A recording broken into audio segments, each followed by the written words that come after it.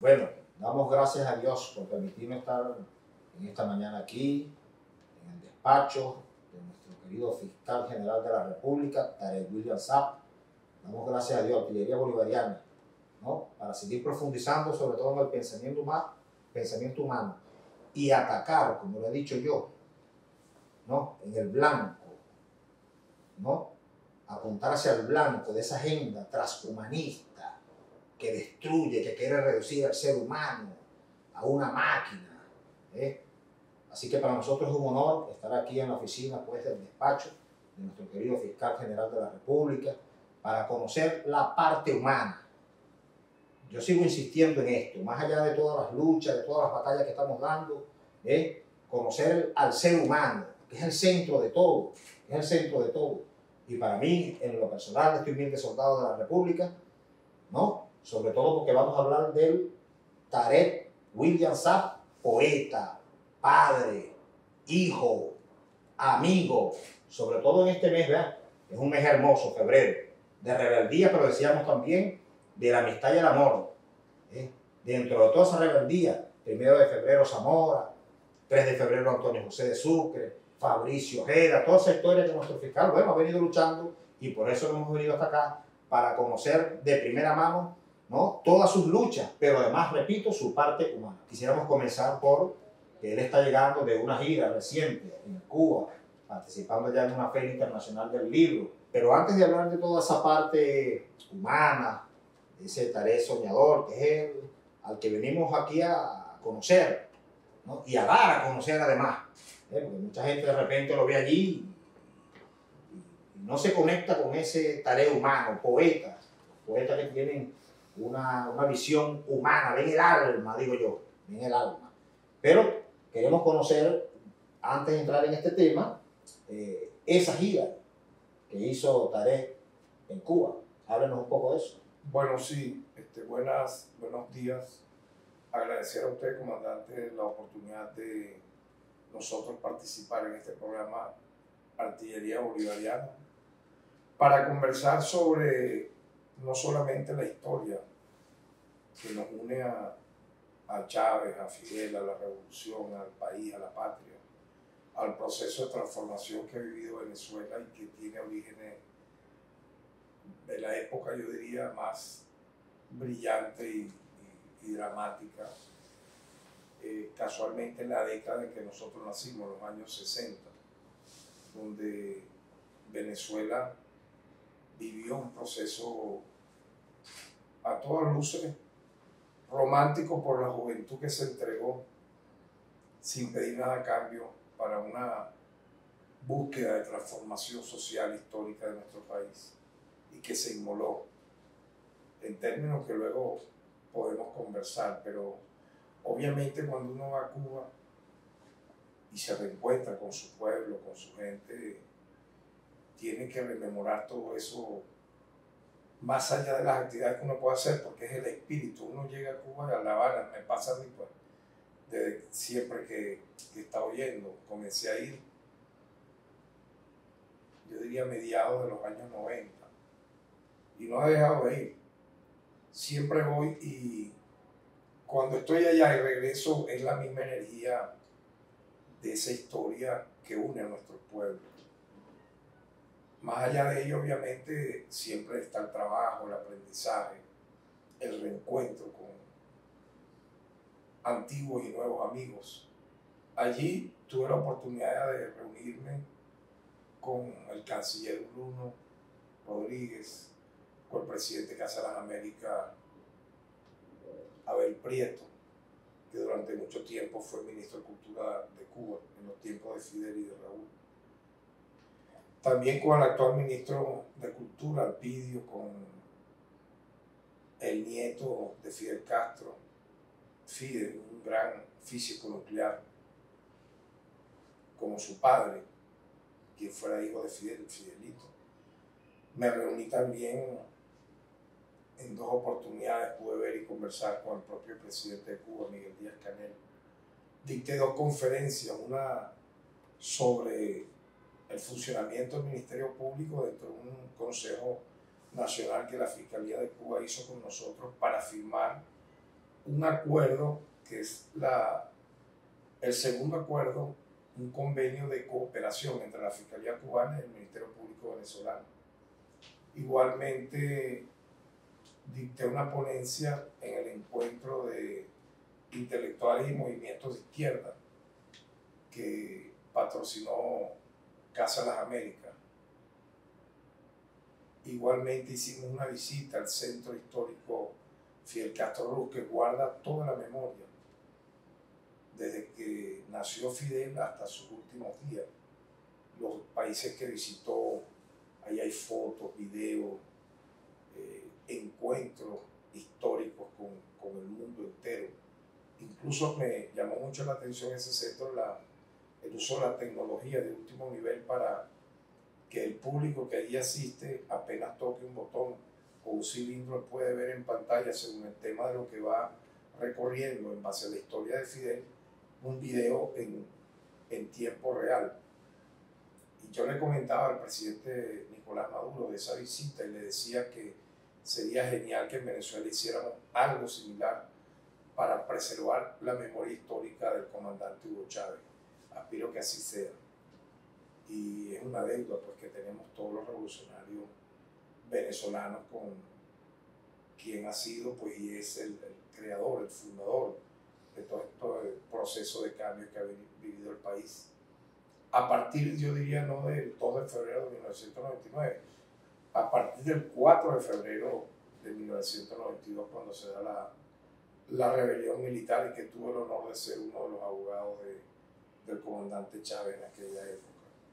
Por lo tanto, yo diría que fue una, una visita, a pesar de lo corto, eh, un poco más de cuatro días, cuatro días y medio, llena de mucha fuerza, eh, que nos lleva a asistir ahora, dentro de un mes, al congreso que hacen cada dos años en Cuba.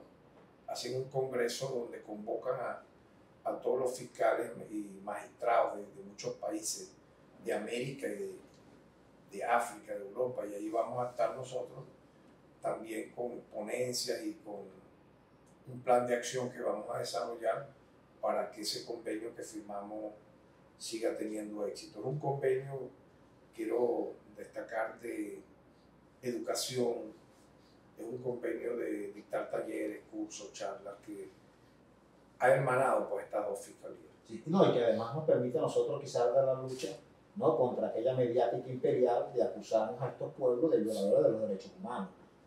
Teniendo instituciones más bien garantes de los derechos humanos que hemos hecho el esfuerzo en medio de una guerra, se llama de cuarta generación, pero es una guerra, tan letal como una guerra atómica, porque Venezuela ha sido víctima de aproximadamente a, a este momento de 927 medidas coercitivas unilaterales que han sido realmente terribles para acabar con una nación.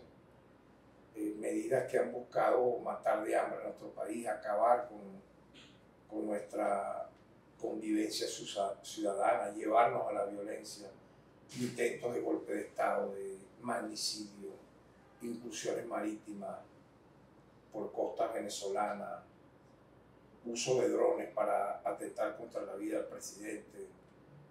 Algo inédito para mí jamás visto en los términos que estoy narrando en un país democrático, buscando por esa vía derrocar y acabar pues, con, con nuestra nación. Yo le decía a los compañeros cubanos que ellos me contaban que el 11 de julio fue un hito en Cuba porque se dieron unas manifestaciones donde algunos quedaron heridos por ser apedreados por manifestantes, rompieron una vidriera. Yo lo comentaba, calculen ustedes lo que ha tenido que vivir Venezuela, por ejemplo, en 2014, una acción de ese tipo, pero llevada a, al mil por ciento peor. Produjo 48 muertos y 800 heridos causados por los manifestantes que buscaron por esa vía hacer que se diese en Venezuela una especie de estallido social que justificase una invasión. Eso fue en el 2014 con una consigna totalmente irrisoria, conocida como La Salida, dirigida por Leopoldo López. Luego se reeditó peor, con mayor saña, esa misma, ese mismo experimento a raíz de la traición de quien fuese en mala hora ex fiscal general de la República, que lanzó el, llamado a, a, esas manifestaciones diciendo que en Venezuela supuestamente se había roto el hilo constitucional, lo dijo ella el 30 de marzo del año 2017 y al primero de abril arrancó esa furia, abril, mayo, junio, julio, ocasionando 148 muertos y más de 2.000 heridos.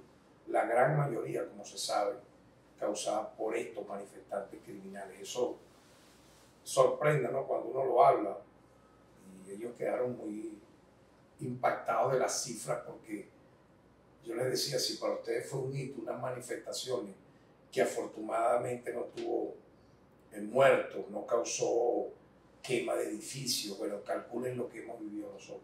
Prácticamente nos hemos salvado de una guerra civil de alta proporción que hubiera acabado con el pueblo. Sin embargo, yo quiero destacar pues, la brillante, vamos a decir así, actuación de nuestro pueblo, del Estado, el liderazgo del presidente Nicolás Maduro, la actuación de los poderes públicos, de la Fuerza Armada, para darle paz a nuestro pueblo yo creo que Venezuela está destinada a la, grandeza, ¿no? Históricamente hemos sido un pueblo rebelde por naturaleza.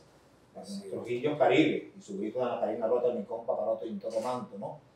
Y Pablo Morillo lo escribe en su memoria, dice, mire, estos pueblos no se dan gobernar sino por ellos mismos. Pero hablando de ese tarea humano, ese tarea soñador, ¿qué comparación en relación a todo lo que usted nos está comentando tiene usted? Porque viene luchando desde su época estudiantil, en los años 70, 80, en defensa de los derechos humanos ¿Qué tan difícil o cuál es la comparación que tiene usted en relación a esos dos hechos? Claro, yo me inicio en la lucha revolucionaria exactamente teniendo 15 años, porque comencé a militar esos 15 años en una organización, en aquel momento calificada de extrema izquierda, una organización llamada Movimiento Político Ruptura, que era la fachada pública de masa del Partido de la Revolución Venezolana, el PRD, liderado y fundado por Douglas Bravo y nada más y nada menos que por Fabricio Ojeda, el 23 de abril de 1966. En la clandestinidad fue creado el PRD.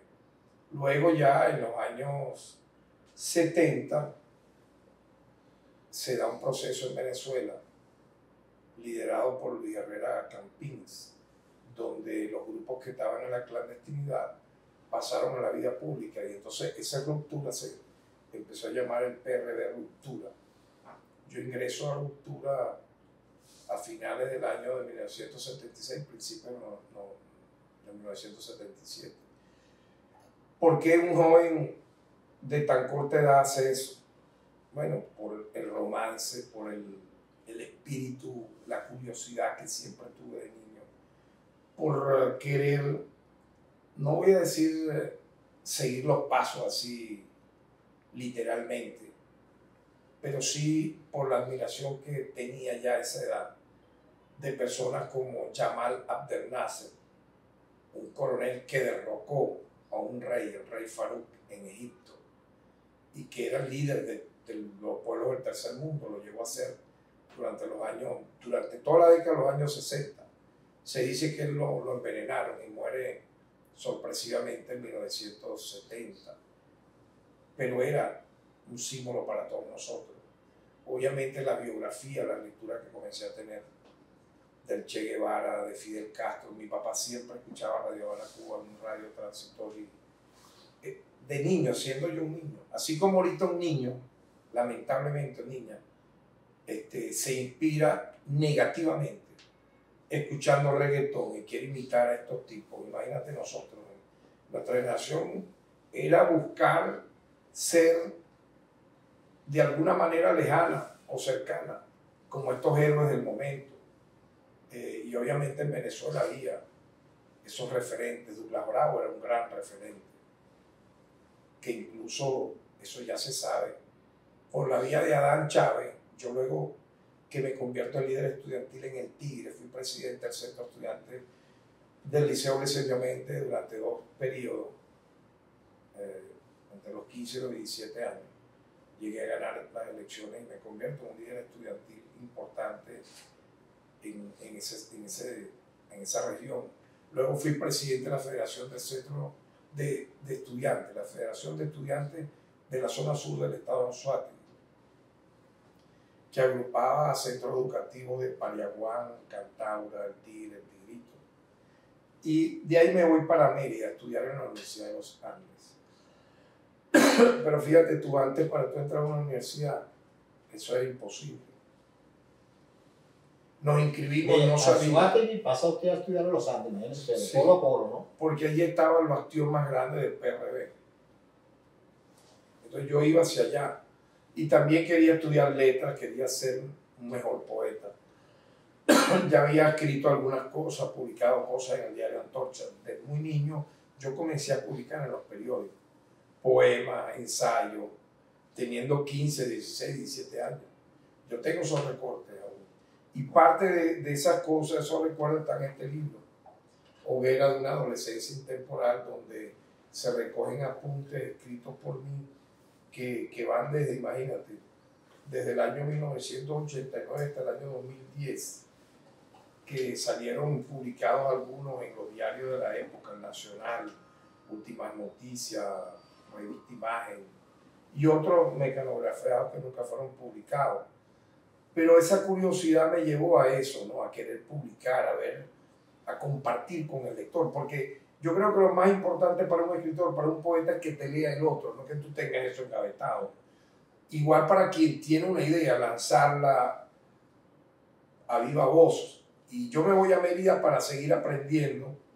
Allí conocí a Adán Chávez, era ya profesor de física en la Facultad de Ciencias. Y yo era un estudiante preinscrito, un comité, eh, líder, presidente del comité de bachilleres sin cupo. Me están haciendo señas que debemos ir a un corte comercial, podemos definir eso como la primera etapa y al regreso hablen de esa segunda etapa, conoce a Don Chávez y luego viene la llegada de mi comandante Chávez. ¿Cuál es la participación y cuál es la Y vivencia? aquí ya hay como cuatro etapas ya. Pasaron mucho más Ya, cosas, pero Pasaron mucho más podemos cosas. reducirla. Sí, pues yo, yo diría que lo que hemos hablado es la, la cuarta parte de la primera etapa. La cuarta parte de la primera etapa. Bueno, vamos a- es, es bastante amplio, sobre Sí. todo hablando de un, de un escritor, de un, de un poeta, de un hombre de letras. Vamos a una pausa y regresamos más con esta entrevista especial, conociendo al Caret William Sapp, humano, poeta, escritor, más que abogado, penalista, defensor de los derechos humanos sobre todo. Pausa y regresamos con más de este programa especial de Artillería Bolivariana, hoy desde el despacho de nuestro fiscal general de la República, Tarek William Sapp.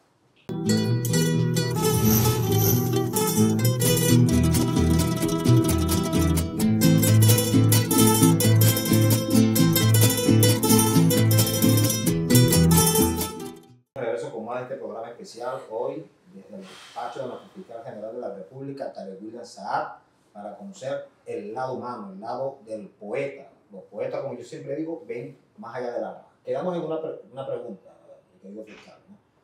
Se fue a Mérida, conoció a Adán. ¿Cómo es esa etapa y ese encuentro con la llegada de la Revolución Bolivariana y el comandante Chávez? Bueno, sí, efectivamente, para mí Mérida significó un hito importante en mi vida. Más allá de que no culminé, no quise seguir estudiando letras porque sentí que académicamente ese no era el destino que yo iba a tener. O sea, terminar siendo un licenciado en letras, dando clases. Pero ese periplo que tuve allí, eh, a finales de los- del año 81, yo fui presidente del Comité de Bachilleres sin Cupo de la ULA por liderazgo propio, pues la misma asamblea de preinscritos me eligió. Ya yo venía fogueado por las luchas estudiantiles de Anzuategui.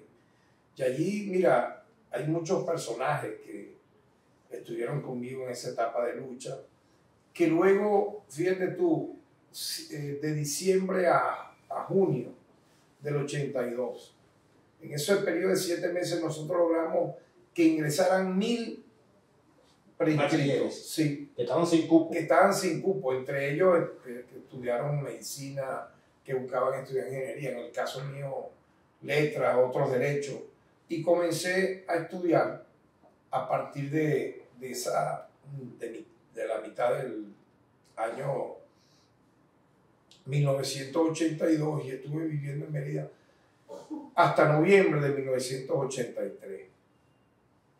Te comentaba lo de la amistad con Adán porque Adán fue clave en la incorporación de su hermano Hugo Chávez al movimiento político. Al PRD. Hugo Chávez fue miembro del PRD, llegó a ser nada más y nada menos que parte del comité central del Partido de la Revolución Venezolana, que, cuyo jefe era en ese momento, como te dije, eh, Douglas Bravo, eran reuniones clandestinas, muy delicadas, donde yo creo que fue un paso positivo que tuvo Chávez allí porque en el año de 1968 Douglas Bravo escribe un manifiesto y da unas entrevistas a Georges Mattei, un documentalista francés, donde él dice que la revolución venezolana no solo era marxista en aquella época, sino bolivariana. Yo creo que esto tenemos que tomarlo en cuenta como un antecedente y un referente indiscutible, eso está en documentos del aporte que Douglas Bravo le da a la revolución y al PRD, particularmente en este, concepto. Y bueno, y Fabricio, que fue uno fundamentos de sus fundadores, claro, por supuesto. Pero es que hay algo más increíble, ¿no? Ya posteriormente, los documentos que empieza a desarrollar el, el PRD, y eso está en, en periódicos del movimiento político Ruptura, ellos hablan ya de el aporte, aparte de Bolívar a la revolución, de Ezequiel Zamora y de Simón Incluso. O sea, que podríamos hablar de, de las tres raíces. Pero por eso, por, eso es la, por eso te digo la influencia decisiva que tuvo Hugo Chávez en su paso al PRD, porque él se nutrió de eso. Eso está documentado en el libro. Y claro, yo menciono a Adán porque Adán fue el puente, fue el enlace de llevar a, a su hermano, que en ese momento, si mal no me equivoco, era capitán, capitán, a formar parte de lo que fue la estructura clandestina del PRD y de llevarse lo mejor de eso. Entonces yo diría que esa etapa merideña para mí tiene que ver con el encuentro ya con, por ejemplo, con Douglas, que lo conocí personalmente, con profesores como Adán, como, Juan Salazar, que también era del PRD, entre otros. El encuentro con poetas, quien conocí, compartí con ellos, como Ramón Palomares, Pepe Barrueta. Y yo me nutrí de muchas cosas, la visita al páramo, la cordillera, acampar en las montañas nevadas, subir el teleférico, los primeros amores truncos, todo eso me sirvió, a pesar de que no continué estudiando letras, letras yo me devuelvo al tigre, yo me devuelvo al tigre. Y en esa transición de un año, donde todavía no decidía dónde iba a estudiar, yo escribo vorazmente en los primeros meses de mi estadía en el Tigre mi primer libro que se llama Los ríos de la ira. Un libro de casi 140 páginas que tuvo como prologuista a Gustavo Pereira, un poeta nacional muy querido por todos. Poeta margariteño. Correcto, que vive en Anzuate de toda su vida. Su papá fue fundador del sindicato petrolero junto con Martín Marval. Y esa etapa fue para mí brillante, muy importante a nivel de, de la creación, porque esos poemas que están ahí en ese libro, muchos de esos poemas todavía son citados, son leídos, son, están en esta antología.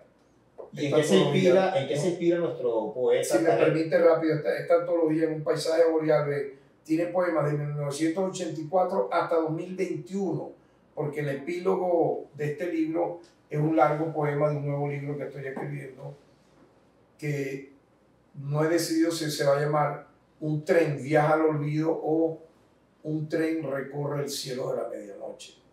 Estoy en eso.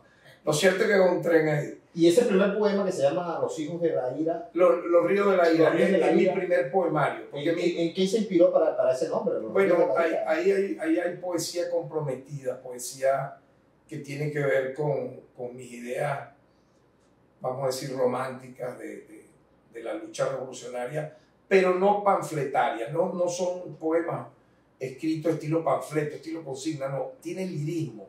Eso es lo, lo, lo que, se, lo, lo, que rescata un crítico literario, un ensayista que yo quiero mucho, que se llama Juan Liscano, porque yo de allí escribo dos nuevos libros.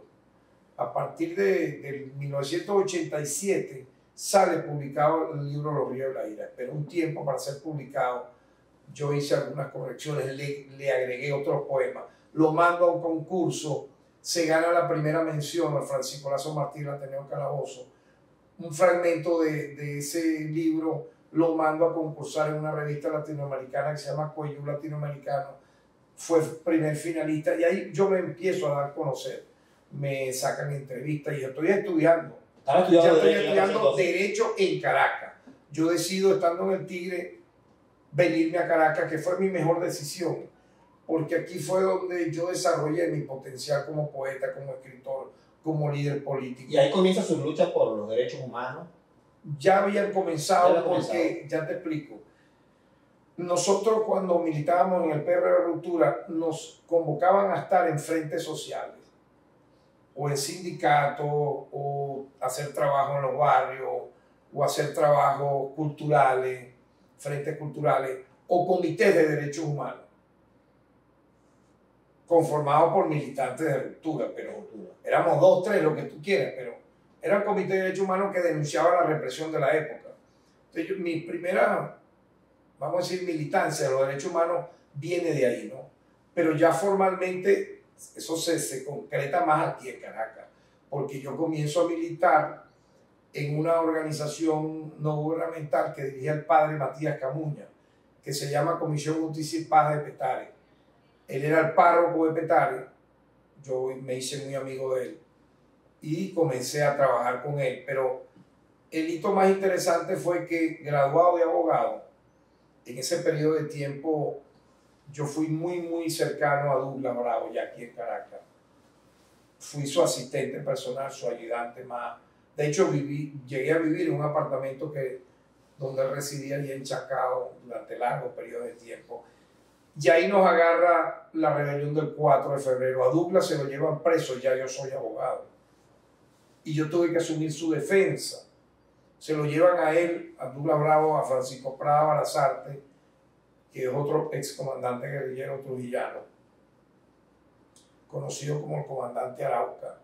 Imagínate, con apenas 30 años, me tocó esa gran responsabilidad.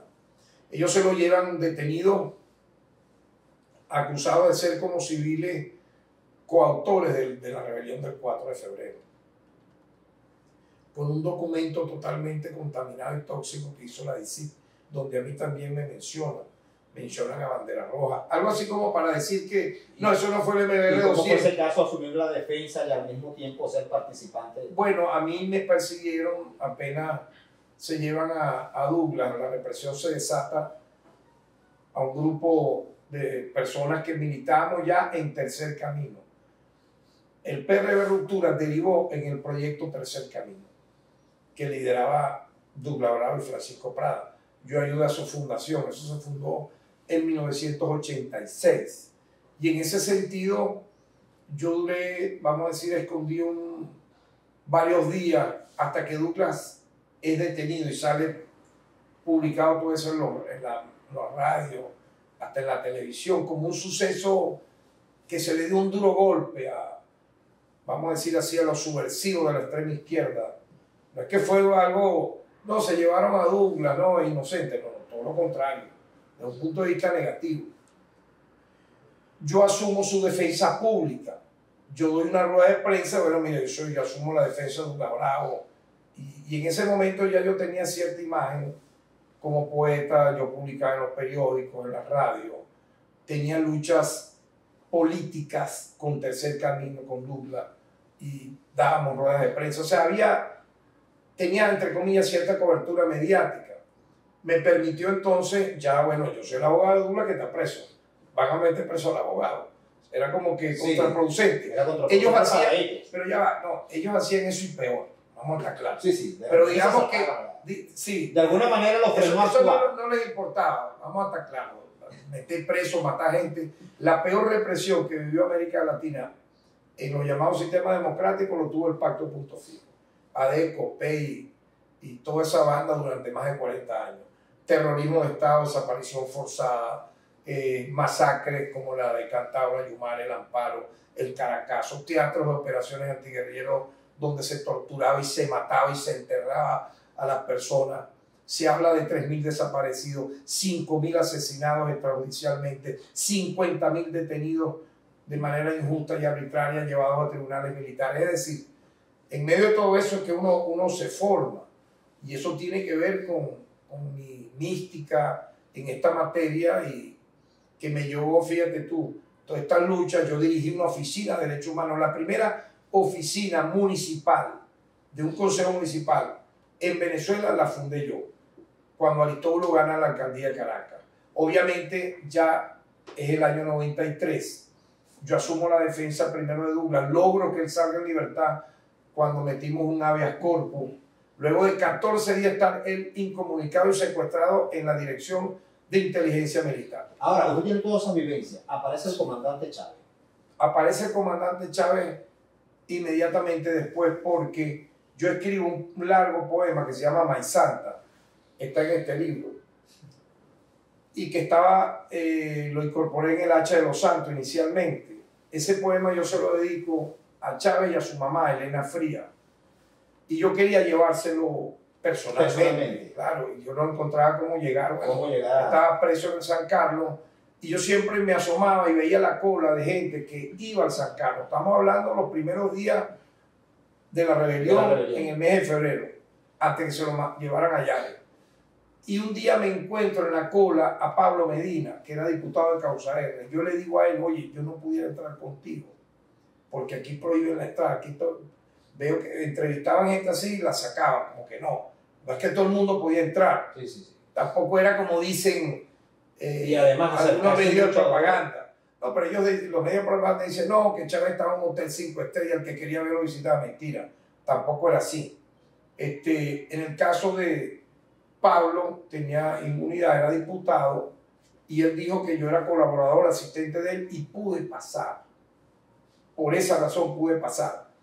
Y logré ver a Chávez. Él siempre contó eso, él lo contaba. Le regalé el poema mecanografiado, él se impacta, le regalo el libro que ya tengo publicado, Los ríos de la ira. Él dice que me conoce, que a mí me decía en el árabe, que me preguntó por Douglas Bravo. ¿Me entiendes? Me habló que de cómo estaba, yo le comenté que, que había estado preso y todo lo demás. Él dice, yo lo vi en la prensa. Y a partir de ahí yo hice una gran amistad con él. Lo pude ver una segunda vez en el cuartel San Carlos y luego lo trasladan a Yare. No como la gente piensa por la propaganda que el enemigo lanza, que estaba también en unas tremendas celdas. No, a él le habilitaron un, un edificio de presos comunes, creo que tenía cuatro pisos, y en la parte de abajo, yo, yo entré ahí muchas veces, este, eran unas pequeñas oficinas que tumbaron y las convirtieron en una pequeñita celda. Pero, ¿dónde? Hay una recreación ¿En aquí dónde? el Cuartel En, de la en un, pero en un edificio de presos comunes, donde tú escuchabas los gritos de la tortura, los alaridos, lanzaban sus necesidades al patio, porque eso hacia un patio.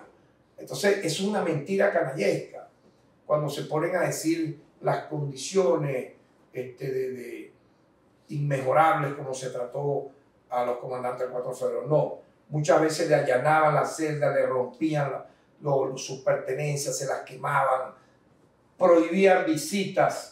De hecho, después a mí me la prohibió Radames Muñoz León. Sacaron una lista de personas que ya no podían entrar más allá. Entre esas Y estaba yo. Pero ahí quedó, quedó esa, esa semilla de esa gran amistad. Tal es así que el primer acto que hace Hugo Chávez en el Panteón Nacional, cuando él le rinde honores a Simón Bolívar, yo estoy con él allí, hay, hay un video, hay un video, gracias a Dios, no sé cómo se rescató, pero donde yo estoy al lado de él caminando, este, luego que estamos saliendo, él me invita, él me invita y yo fui. Entonces, claro, ahí había una seguridad un poco extrema. Él me llega a mirar cuando él está subiendo y me dice, pásame conmigo. Entonces, ahí se hizo un acto de, de rendirle honores a Simón Bolívar con una corona. Luego él le rinde honores a Zamora. Yo estuve viendo todo lo que él hizo. Él hace un juramento arrodillado. Luego cuando termina con la palma, él, él le da la, a la lápida. Fue un acto muy simbólico, muy hermoso. Y luego de ahí él se va a los próceres, su primer acto. Entonces, bueno, esa fue una amistad que entrañable que duró y durará por siempre. Yo siempre digo que a Chávez y a Fidel hay que hablar de ellos en tiempo presente, porque es una gente tan, de una hazaña tan infinita, que tú tienes que tenerlo en tu memoria como si fuera hoy, porque si no lo, lo olvidas. Y a partir de ahí, bueno, ya yo creo que la historia es conocida. Yo logro, eh, vamos a decir, consolidar esa imagen de líder de los derechos humanos en mi país, por ser el único referente que denunciaba la represión. Aquí no había más nadie. Yo no era diputado, yo no tenía ningún cargo. Yo era simplemente un luchador social que tenía de cobertura esa oficina y que salía a defender, mira, a víctimas de abusos policiales, torturados, a los militantes revolucionarios que se llevaban presos.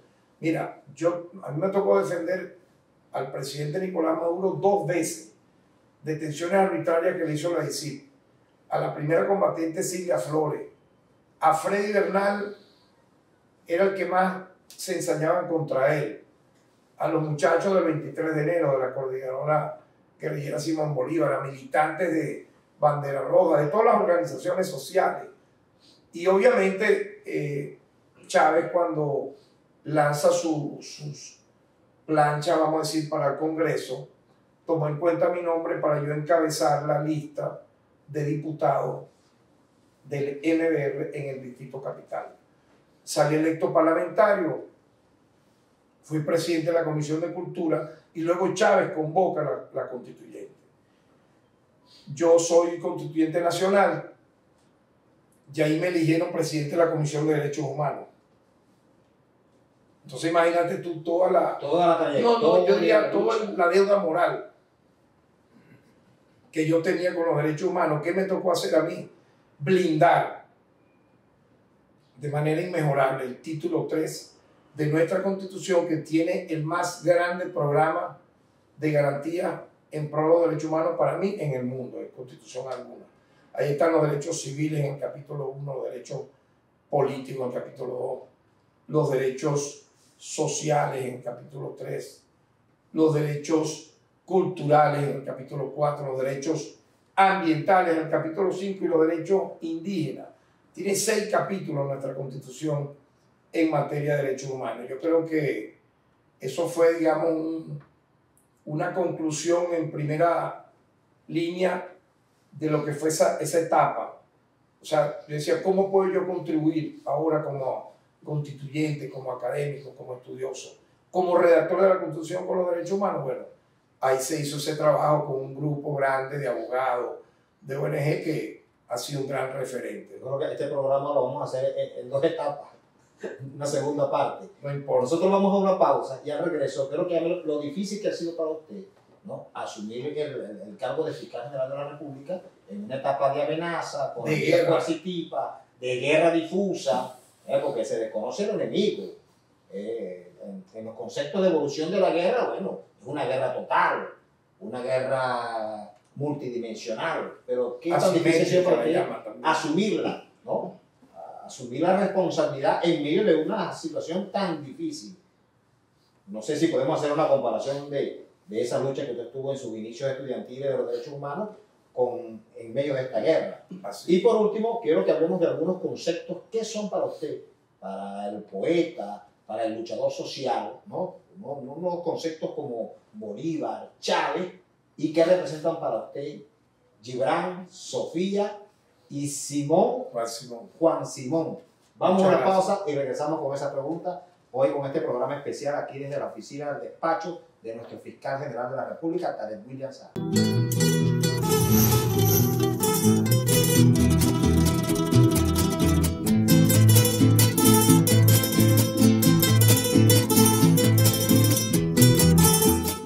Bueno, estamos de regreso con más de este programa especial hoy desde el despacho de nuestro fiscal general de la República, Tarek William Saab, conociendo bueno, todas sus luchas, ¿no?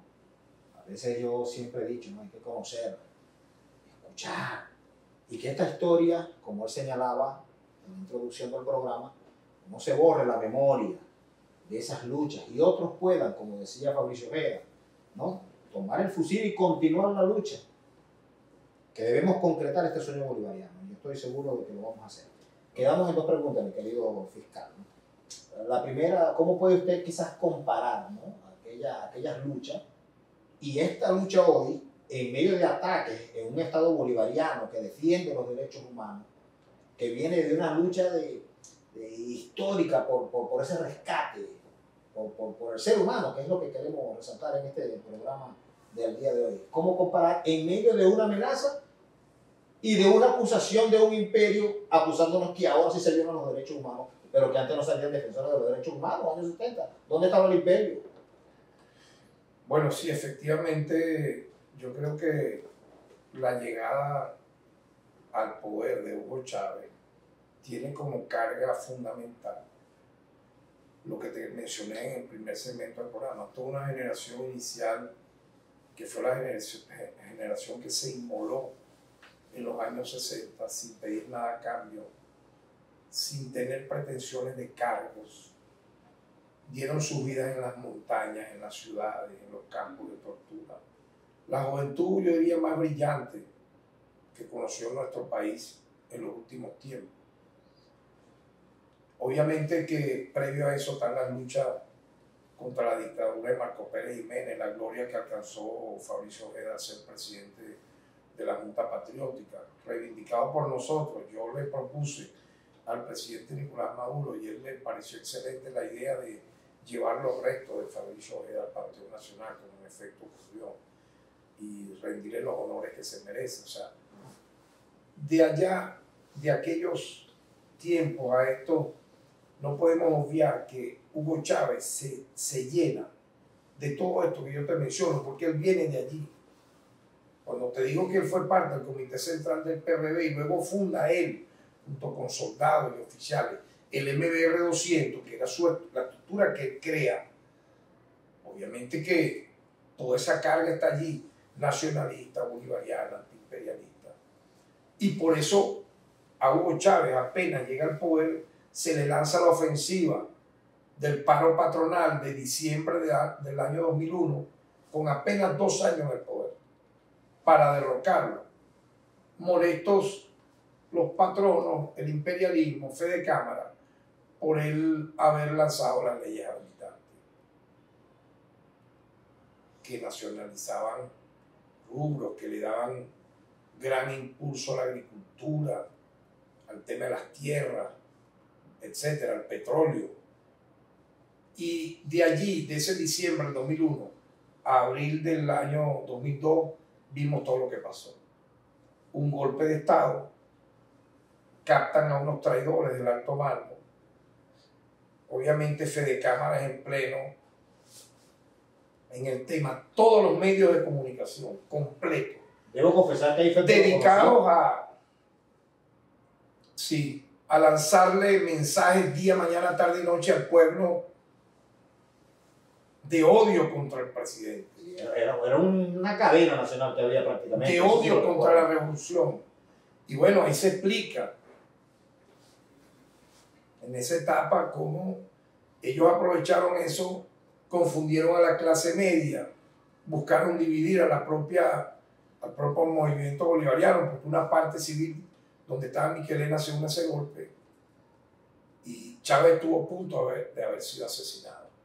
Porque yo creo que la orden era matarlo, como ya se sabe, promover el magnicidio, y quien te habla fue detenido el, 11, el 12 de abril del año 2002 por unos esbirros de la DICIC que se volteó, los traidores que fueron a, sin importarle nada, o sea, sin prueba de nada, frente a nuestros familiares, llevarnos detenidos y querer hacernos un expediente por posesión de armas de guerra y llevarnos a tribunales militares sin lógica de ningún tipo, pero era el plan de amedrentar, de en las calles ya habían matado a decenas de, de compatriotas y se estaba iniciando una cacería en todo el país para acabar con todo vestigio de, de resistencia. Sin embargo, se reveló el pueblo, se reveló la Fuerza Armada y pudimos ver cómo ya el 13 de abril estaba derrotado el fascismo y sale Chávez el 14 de abril en la locución esa famosa, donde nosotros también, por cierto, lo, acompañamos. Yo creo que eso no podemos obviarlo para explicar lo que pasó, lo que ha venido pasando luego, porque el enemigo no cesó en su afán y lanza la ofensiva al paro petrolero patronal en noviembre, diciembre del año 2002, enero 2003, que llevó a cero la producción petrolera nuestra. En aquel momento se habló de una pérdida de 25 mil millones de dólares, que quedó ínfima a lo que hemos perdido posteriormente con la sanción a PDVSA, la prohibición de que, de que podamos nosotros vender nuestro crudo a los países que así lo necesiten y todas las sanciones de carácter coercitivo que hemos vivido que nos ha permitido ser ejemplo en el mundo de resistencia, porque nosotros nos han incautado bienes en el exterior. Nos han incautado a Citgo, a Monómero la quebraron, nos han retenido cuentas bancarias, oro, etc. Entonces, este, pero eso tiene este antecedente que te digo, del, del golpe contra Chávez, lo sabéis, del paro petrolero, de las guarimbas que se iniciaron y que eso lo corta de raíz Chávez cuando se va, asume el reto del referéndum y convierte el referéndum reprobatorio o revocatorio en un referéndum aprobatorio. Ahí la historia fue otra. Luego vienen las elecciones de gobernadores. Se me da la tarea de rescatar el estado de y Yo gané dos elecciones consecutivas.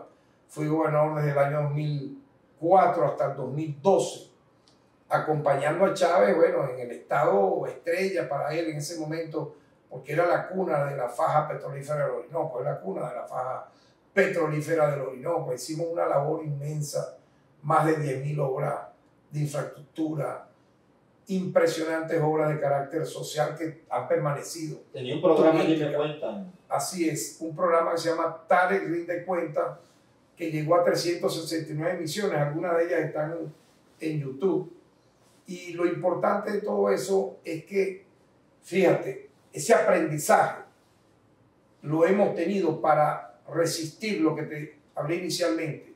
La salida que causó 48 muertos, 800 heridos en 2014, intento de derrocar al presidente por la vía del golpe de Estado, por la vía de, la guerra civil, por la vía de querer bañar de sangre nuestro, nuestro país, que fue derrotado nuevamente Luego, ellos aprovechan esa coyuntura, el momento asiago en que fallece Hugo Chávez. Porque ellos dijeron, bueno, ya esta gente va a quedar en la nada. Fallece Hugo Chávez, vamos con todo. Y así fue. No se imaginaron el liderazgo del presidente Nicolás Maduro, no se imaginaron la lealtad de los poderes públicos, de la Fuerza Armada y la lealtad del pueblo para no vender nuestro territorio, nuestra riqueza a, una potencia extranjera y convertirlo en un nuevo, una nueva colonia desde la época de hace 200 años atrás. Yo creo que ese es el gran aprendizaje, la gran enseñanza que le entrega la revolución bolivariana al mundo entero en épocas como esta, ¿no? Y posteriormente, fíjate, en medio de, de, una contingencia tan terrible, a mí se me designa defensor del pueblo inicialmente en 2014. Ya ahí se veía los resacos terribles de lo que fue la guarimba, el intento de guerra civil, la búsqueda de derrocar al presidente Maduro por la vía violenta, que tuvo su momento más cruel con los sucesos de luego de la traición de la fiscal innombrable de abril, mayo, junio, julio del año 2017. En medio de esa guerra se instala la Asamblea Constituyente elegida por 7 millones de venezolanos. Y a mí se me designa fiscal general de la República. Un acto eh, audaz haber convocado a la Asamblea Nacional Constituyente, inteligente, sabio, que cortó de raíz la guerra, la guerra, la guerra que nos tenían en, Y que uno pensó que eso iba a quedarse así, ¿no? Ahí me tocó, yo he dicho, bueno, es fácil ser fiscal general de la República en época de paz. Es como a mí me tocó en época de guerra. Fíjate, todo, tuvimos que judicializar a todos los criminales que quien me en el cargo perdonó, porque no les abrió ningún expediente. A los que quemaron vivo hablando Figuera, a los que quemaron vías públicas, a los que quemaron edificios, a los que mataron. ¿No? Nosotros comenzamos a hacer ese trabajo. Y en agosto del año 2018, el 4 de agosto, se intenta asesinar al presidente por la vía de los drones, un atentado en la Avenida Bolívar. Judicializamos a todos esos criminales Gran parte de ellos están detenidos, otros prófugos, con órdenes de captura internacional. Cuando pensamos que eso podía quedar ahí, viene el golpe de Estado el 30 de abril del año 2019, donde se utilizó, aparte de la policía, de la Fuerza Armada, se liberó a un criminal que hoy es un cobarde prófugo de la justicia, vive como rey en España. Para, según ellos, pensaron que iba a venir millones de personas iban ahí donde estaban, no los acompañó nadie. Un golpe fracasado, pero que vimos el daño que causó en los términos de, de, lo que implica buscar por la vía violenta romper el hilo constitucional. Y sorprendentemente, para muchos, en plena cuarentena, en plena pandemia, buscando el Estado salvar vidas por el COVID-19, en mayo del año 2020 20 lanzan el ataque de inclusión marítima conocido como Operación Edión, que también, como los otros anteriores, este Ministerio Público ha actuado de manera impecable, ha judicializado, procesado, detenido, ha incautado bienes, ha allanado a, a, esta banda que yo puedo decir está desmantelada. Y le hemos dado, eso es el gran aporte que el Ministerio Público le ha dado a la paz republicana, actuar de manera firme en delitos como terrorismo, traición a la patria, pero también en defensa de la mujer. Hemos hecho una labor impecable en defensa de los niños, niñas y adolescentes, en defensa de la familia venezolana, en el combate al tráfico de drogas, en el combate al microtráfico. Yo siempre alerto, el microtráfico es la escala fundacional, la base para el tráfico mayor. Y buscan acabar con los niños y jóvenes. Por eso tú me preguntabas de nuestra niñez. Bueno, mira, yo reivindico que quien está aquí hablando contigo es este mismo que pudo haber estado aquí, que está en estos libros, en estos, en estos versos que hablan de la vida, del amor, del romance, de los sueños, de la lucha, que no debe nunca cesar, porque nosotros no podemos perder la esencia de dónde venimos, qué fuimos en la niñez, qué fuimos en la juventud. Bueno, soñadores, románticos, luchando por un mundo mejor, escribiendo en las plazas, teniendo la inocencia en los amores, en, el amor a la familia, en el amor a los hijos. Yo soy muy extremadamente familiar, eso lo sabe todo el mundo, sabe, de ser una persona cercana a todo lo que implica la amistad, la familia, eh, la entrega espiritual a los amigos, a, a una causa. Y, uno es eso, el niño que corría se salía del salón de clase, se iba a la Plaza Bolívar, escapaba a jugar, a trepar una, una, mata, ahí con los amigos a, a Campo Oficina, que es donde nació el tigre, a trepar también este, árboles, luego ahí al río Cari, yo conocí el río primero que la playa, luego acampar semana, una semana completa, imagínate, yo llegué a recibir el primero de enero, ya nos íbamos siete días con nuestras novias a, La Pito, a Colorado, un grupo de amigos, pero a mí no un hotel, sino una carpa. Entonces, este, la, todo, la, juventud. Todo eso está en las canciones que uno escucha. En el caso mío, el rock clásico de los 60, 70, Pink Floyd, Morrison, Doors, eh, Crosby, Steele, Nash Young, obviamente son precursores de la trova y del hipismo, lo que fue el movimiento contra cultura, la Beat Generation. Allen Hinsberg, Jack Kerouac, libros fundacionales como lo que escribió Hermann Hesse, Premio Nobel de Literatura, que luchó contra el fascismo, la, la obra de Khalil Gibran por la paz, un gran escritor libanés, el profeta, el loco, el vagabundo y todo lo que luego conocimos de nuestra literatura propia venezolana, Víctor Valera Mora, Ramón Palomares, Caupolicano Valle, Luis Alberto Crespo, Gustavo Pereira, seres entrañables que nos enseñaron el camino de que escribir es una, un legado que tú dejas y que siempre va, vamos a tener, porque fíjate, fíjate tú, yo vengo de la Feria del Libro de La Habana, pero en noviembre estuvimos en la, inauguración de la Feria del Libro de Caracas, que ahora va, va, a recorrer todo el país. O sea, el libro es un instrumento indefinible, que no tiene fin infinito, por la sabiduría. Y ahora el libro digital, hay que utilizar también lo moderno, ¿no? Entonces yo diría que eso acompañado con la música que, que han hecho los autores, fíjate, Ali Primera es un símbolo, su poesía es tan hermosa, su, sus canciones entre la melancolía y la rebelión, este, que nos deja un gran legado. Eh, la música nuestra folclórica es tan impresionante como tú puedes ir, por ejemplo, en una carretera a, a medianoche o amaneciendo. Ahí lo que te provoca es escuchar música llanera, Eneas Perdomo, Cristóbal Jiménez, este, el carrero de Palmarito, etc. Incluso tú lo escuchas de noche y te imaginas que va por una carretera. Eso te transporta la música. Yo le hice homenaje a los poetas en el Parque Andrés Eloy Blanco. Hay bulevares que llevan nombres de, de poetas venezolanos, poetas extranjeros allá en, en y Por lo tanto, yo diría que eso está siempre presente. Por eso a veces el tiempo es una, es una trampa. Porque tú hablas del pasado y es como que algo que pasó, no. Hay que convertirlo en memoria, en memoria presente de vida. Y esto es el tiempo que estamos viviendo, obviamente, pero proyectar todo lo bueno hacia el mañana. Yo creo que ese es el aprendizaje que como budista, yo soy adepto a la filosofía budista, ¿no?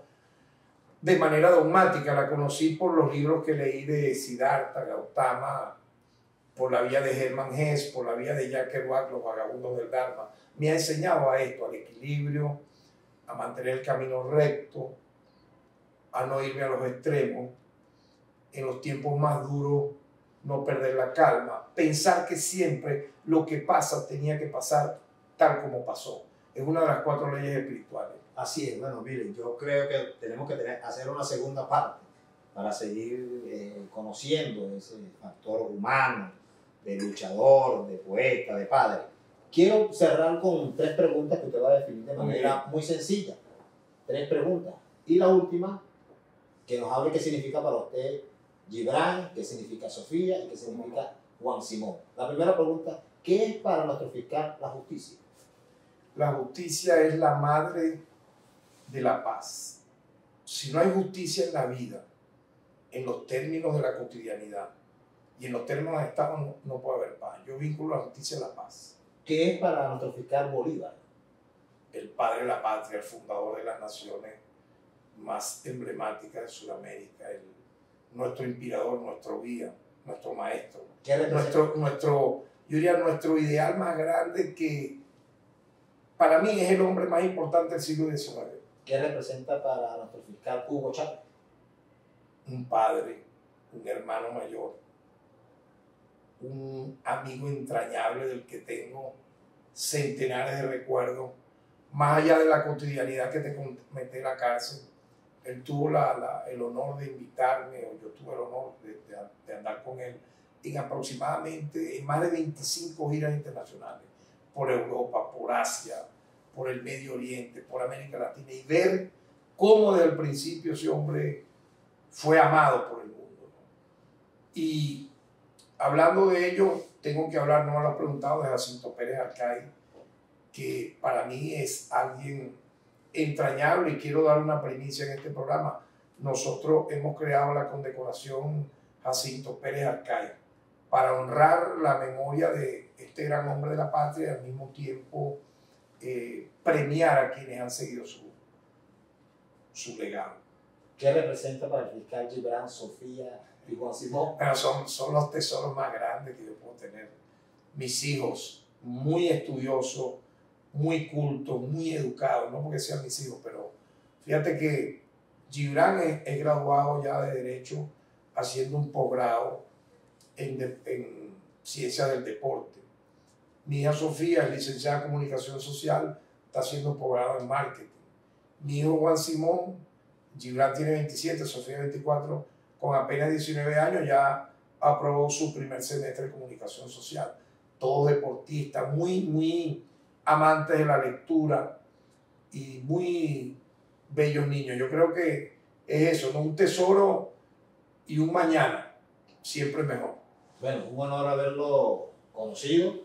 Muchas gracias. Como dije durante la entrevista, la primera vez que lo vi, lo vi cuando aquel, aquel golpe, cómo, Así cómo se lo llevaban y cómo usted, pues en defensa del proceso revolucionario, denunciaba incluso, Sí. siendo llevado, denunciaba. Queremos hacerle entrega de esta taza de nuestra televisora La Rosa Armada, de parte de nuestro general. Benzín Guerrero, quien le envía un saludo, de Muchas canal multiplataforma, y gracias, mil gracias por abrirnos las puertas de su casa, pero además gracias por toda esa historia, por dejarnos ese legado y hacernos recordar para las generaciones futuras todo lo que ha significado esta lucha esta Venezuela que todos soñamos. Muchísimas gracias a ti.